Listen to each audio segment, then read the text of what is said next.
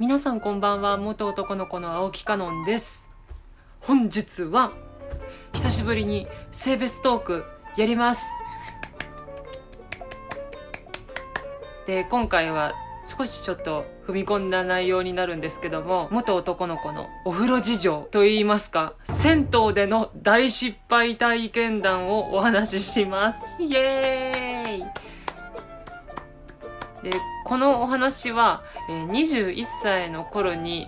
起きたお話です。で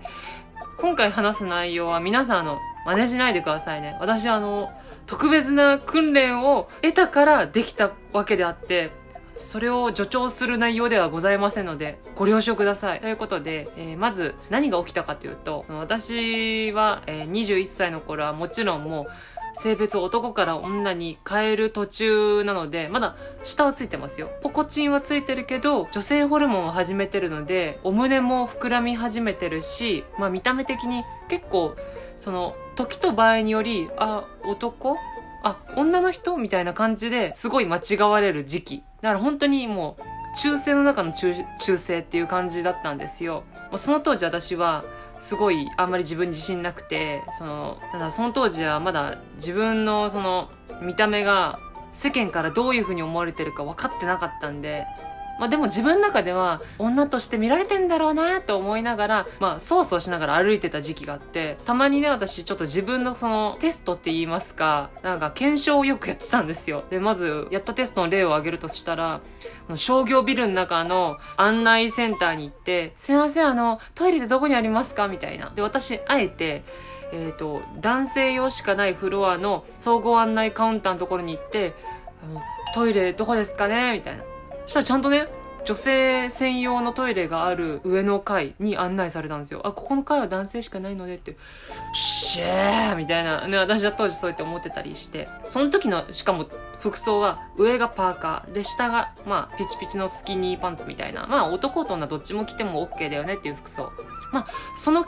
検証私は同じように新宿の東口の駅前広場でやったんですよ。えーみたいな。なんか私ナンパされるんじゃない？みたいな。そしたらね、あの、イケメンの、まあちょっとチャラチャラしたような感じの男性に声かけられたんですよ。だから私が、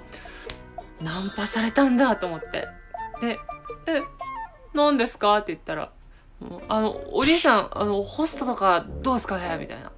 やりません？みたいな、なんか名刺配られて、めちゃめちゃ私のこの、なんだろう、その当時気づいていた、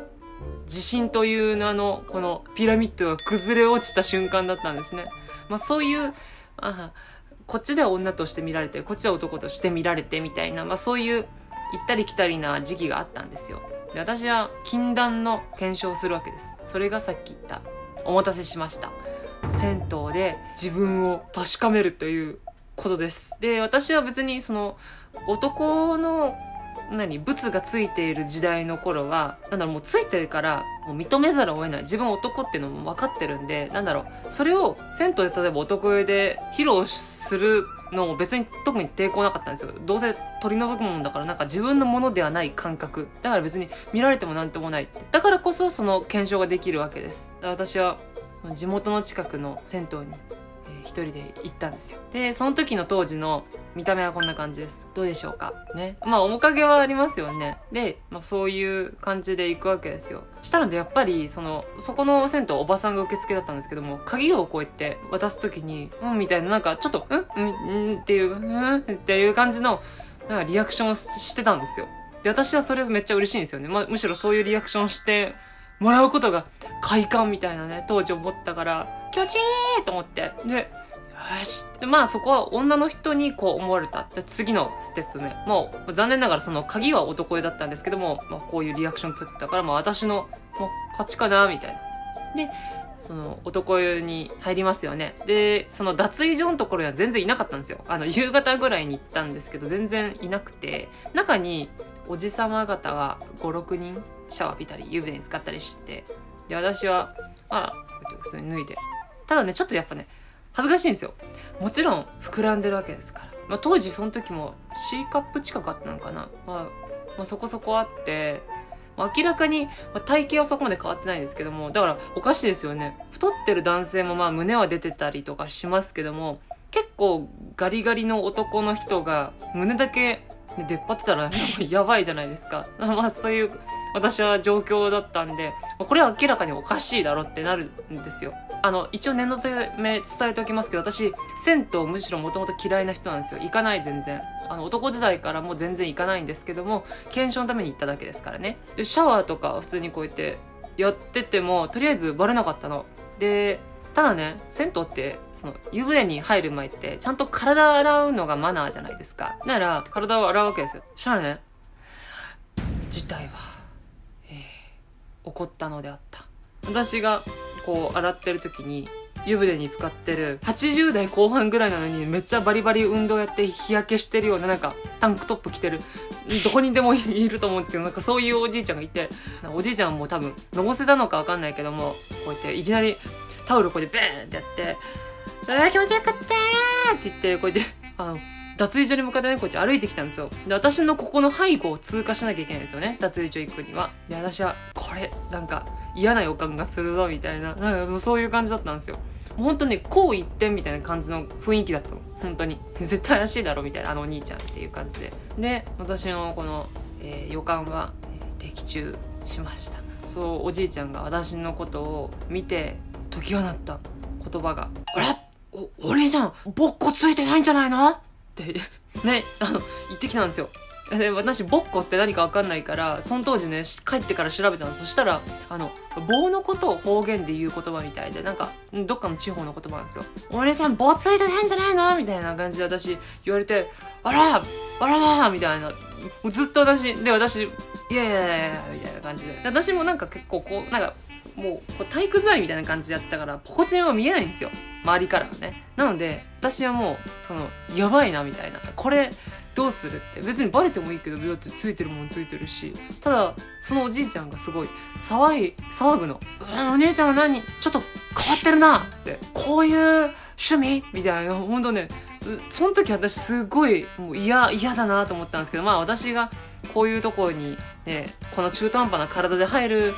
の方が悪いと思ってんでまあいいんですけども。ここだけで私は話が終わると思ったら全然そうじゃなくてもうそういうまあやり取りが12分ぐらい続いたのかな。で周りのおじい様方全然なんかもうサポートっていうかフォローしてくれなくてで私はもうほんとなんかああもうっていうそしたらもう出て行っちゃったんですよしたらね受付のおばあさんが「あお客様はその女性なんですか?」みたいな「あ違いますよ」ってあのお風呂入ってんのに来たからもう対応せざるを得なくてでもそのおじいさんも横で「いや膀胱ついてないだろ!」ってずっと言うの「膀胱ついてないでしょ!」って「いやついてるよ!」ってで私もすごいなんかもうあこれはこういう時期に来たなって。おじさんがこうおじいさんが騒いでることに対してのすごいなんだろううわーなんかやらかしちゃったなみたいな焦りと同時に私はなんか裸でも一応通用するんだなっていうねなんかちょっとよくわかんない、まあ、感情になってまあ嬉しさ半分焦りっていう感じでした。で私はその事件の一連の後にもう何事もなかったかのように脱衣所に出てなん飲むヨーグルトかあの飲んでたんですけどずっとね私の後ろにこのさっきのぼっこおじいさんがねいるの のずっとこうこういう感じでずっと睨んでんですよ。これ、こいつやべえな私当時思ったんですけども、まあ、やばいのは私、私だから、まあ、いいんですよ。ずっとこう、ずっとこうなの。なんかもうい、行っちゃうぞ、お前みたいな。なんか、行くぞって。まあ私はそれ以来男性皇室とか、まあそういうところを利用しなきゃ無理なところには、その時期はもう行くのをやめました。てかそれを境に行ってないです。やっぱ周りの人に迷惑かけちゃうと良くないんで、他の人とはね、ちょっと言ってしまえば違うことをやって生きてるわけなんで、極力周りの人に迷惑かけないようにしなきゃなってすごい思いました。まあ、当時私、スポーツジムとかも行ってたんですけども、やっぱ男性更衣室を使うと、その二度見されちゃう女性ホルモンやってると特に化粧してなくてもすごい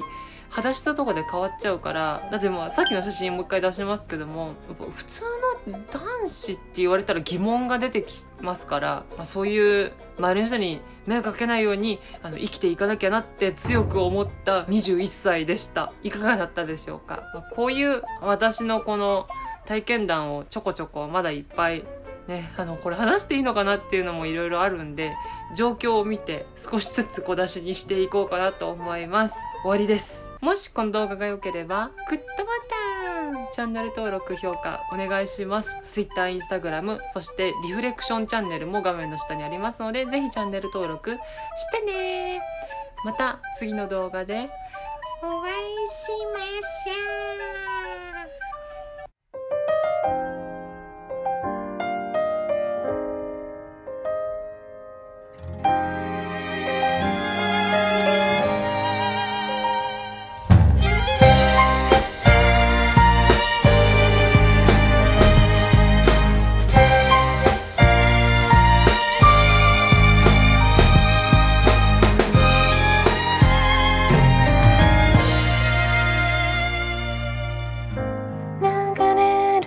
月日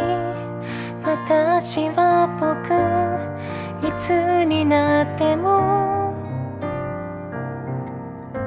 居場所探しで埋もれてゆく夜空の下。